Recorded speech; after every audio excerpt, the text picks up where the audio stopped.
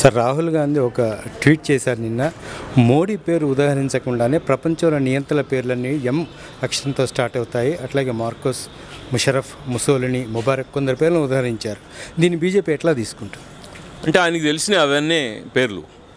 అంటే చాలా పేర్లు ఉన్నాయి డిక్టేటర్లు అవి.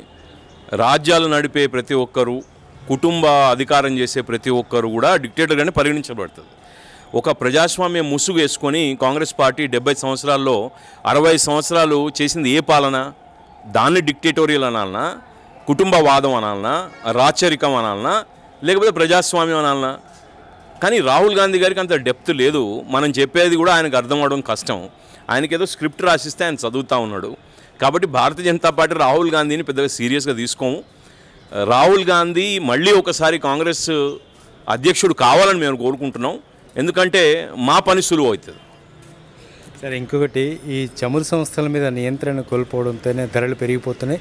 సామాన్యుడికి చాలా భారంగా మారుతుంది. అయినా సరే కేంద్ర బీజేపీ పోత్రం ఏం చేయలేని పరిస్థితిలో ఉందని ఒక విమర్శ వినిపిస్తోంది. అంటే ఈ చమురు ధరలు అన్నవి ఇంతకు ముందు వాటిని కంట్రోల్ చేయడానికి ఒక మెకానిజం ఉండే. ఇప్పుడు అవి కంప్లీట్గా మార్కెట్ డ్రివెన్ ఆయిల్ ప్రైజెస్ అయిపోయినాయి. రెగ్యులేటెడ్ ప్రైజెస్ కాకుండా ఉన్నాయి కాబట్టి గవర్నమెంట్కి వాటిపైన ఏమాత్రం కూడా హోల్డ్ లేదు కంట్రోల్ లేదు. కానీ తప్పకుండా కూడా ఎక్సైజ్ సుంకాలు సర్ఛార్జులు రాష్ట్రం కలెక్ట్ చేసే ఎక్సైజు సెంట్రల్ గవర్నమెంట్ కలెక్ట్ చేసే ఎక్సైజ్లు ఈ ఎక్సైజ్ డ్యూటీల వల్ల తప్పకుండా కూడా పెట్రోలు అండ్ డీజిల్ ఛార్జెస్ ఎక్కువగా ఉన్నట్టు మనకు అనిపిస్తూ ఉంటుంది. మన అందరం కూడా సామాన్య ప్రజలు అందరూ కూడా దాన్ని ఎక్స్పీరియన్స్ చేస్తూ ఉన్నారు. కానీ ఈ అడ్వెంట్ ఏదైతే కొత్తగా వస్తూ ఉన్నదో ఏదైతే నాన్ డిపెండెన్స్ ఆన్ గ్యాస్ తర్వాత న్యాచురల్ రిసోర్సెస్తోని మనం మన వనరుల్ని మనం ఉపయోగించుకొని న్యాచురల్ వనరులను ఉపయోగించుకొని ఎనర్జీ క్రియేట్ చేసే ఒక ప్రతిపాదన అయితే వస్తూ ఉన్నదో దాంతో ఈ ఆయిల్ ప్రైజెస్ చాలా మటుకు కంట్రోల్ అవుతాయని మేము గట్టిగా భావిస్తూ ఉన్నాం. గవర్నమెంట్ కంట్రోల్ దీని మీద లేనందువల్ల పెద్దగా గవర్నమెంట్ దీని మీద చేసేది ఎక్కువ ఉండదు. Thank you sir.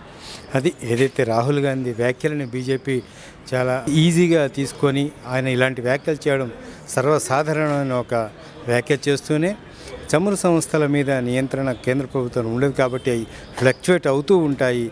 దీనికి కొన్ని రోజులు భరిస్తే తర్వాత పరిస్థితి నార్మల్సీ వస్తుందనే ఒక అభిప్రాయాన్ని జాతీయ అధికార ప్రతినిధి కృష్ణసాగర్ రావు చెప్పుకొస్తున్న పరిస్థితి కనిపిస్తోంది కెమెరా పర్సన్ పవన్తో హరికృష్ణ వన్ తెలుగు హైదరాబాద్.